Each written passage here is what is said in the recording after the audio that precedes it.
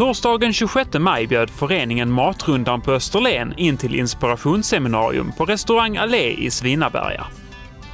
Skånes livsmedelsakademi och Smaka på Skåne är samarbetspartners till föreningen.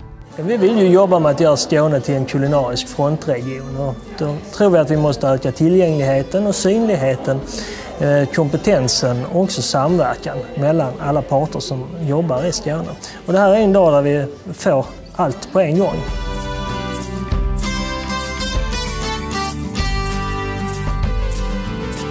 Som introduktion till dagen så har vi då haft en liten rundvandring i Österlen på olika smaker.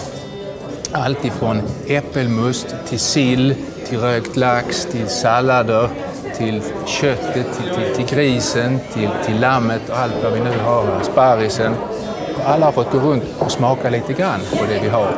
Och till dessert har vi då ätit våra rabarber som är alldeles fantastiska just nu.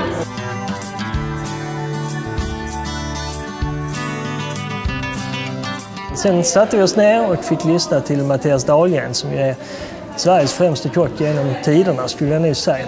Bland annat den enda som har vunnit Bocuse d'Or. Och han berättade om sin matresa och vad han gör och vad han tycker är viktigt och vad vi är bra på och vad vi kan vara bättre. Att få hålla en sån där varm mjuk kaka i sin lilla fyraåriga hand med smör som smälter mellan fingrarna. Det är bland det häftigaste jag har varit med om i hela mitt liv. Sen kom Ami Hofstadius och berättar om kommunikationen för Sverige, det nya matlandet. Nu när vi har all mat, vi har thailändskt, vi har japanskt, vi har liksom hela världens mat alltid tillgänglig, så blir ju mer och mer intressant det här lokala. Efter seminarierna fick besökarna chans att diskutera och ställa frågor till föreläsarna. Håkan berättar om det viktigaste med dagen.